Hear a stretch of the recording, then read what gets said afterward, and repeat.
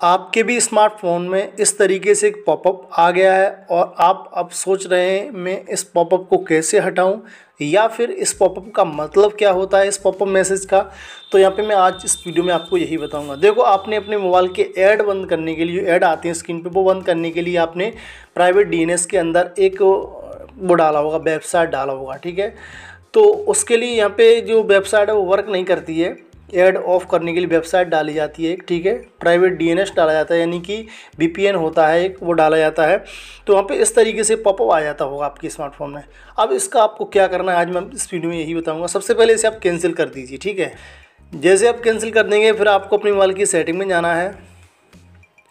यहाँ पर आपको ऊपर ऑप्शन मिलेगा, उस पर आपको लिखना है प्राइवेट डीएनएस, ठीक है?